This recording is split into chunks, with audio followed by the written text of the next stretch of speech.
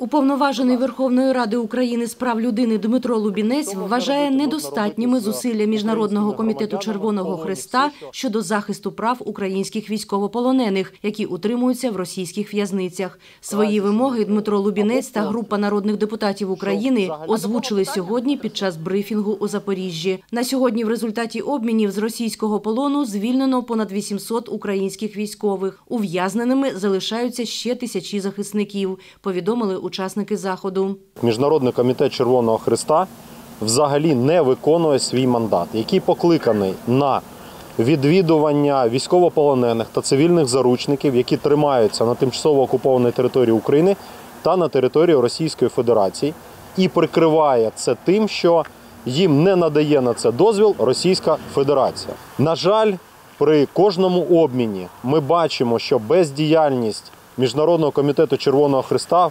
призвела до того, що наших військовополонених та цивільних заручників кожного дня катують. Так, я не помилився. Кожного дня. Їх катують голодом, їх катують електрикою, їх катують тортурами. Саме через те, що росіяни чітко знають, що Міжнародний комітет Червоного Христа не приїде, не буде вимагати доступ до місць тримання військовополонених та цивільних заручників, взагалі показує свою бездіяльність. Я хочу звернутися до Міжнародного Червоного Хреста і сказати: згадайте те, для чого ви були створені. Направте моніторингові місії до Оленівці, до інших місць тримання наших військовополонених.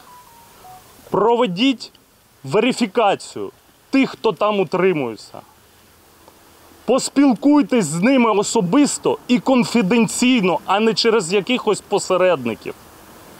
Довезіть їм гуманітарну допомогу, ліки, мед- е, їжу, одяг, який Україна давно готова передавати нашим українським військовополоненим. Захистіть їх там, бо саме для цього ви створювались.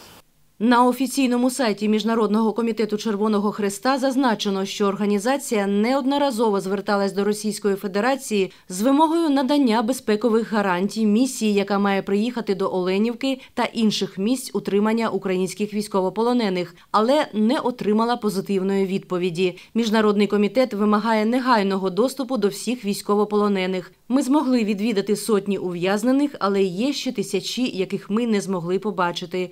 Йдеться зокрема на сайті Комітету Червоного Христа від 14 жовтня цього року.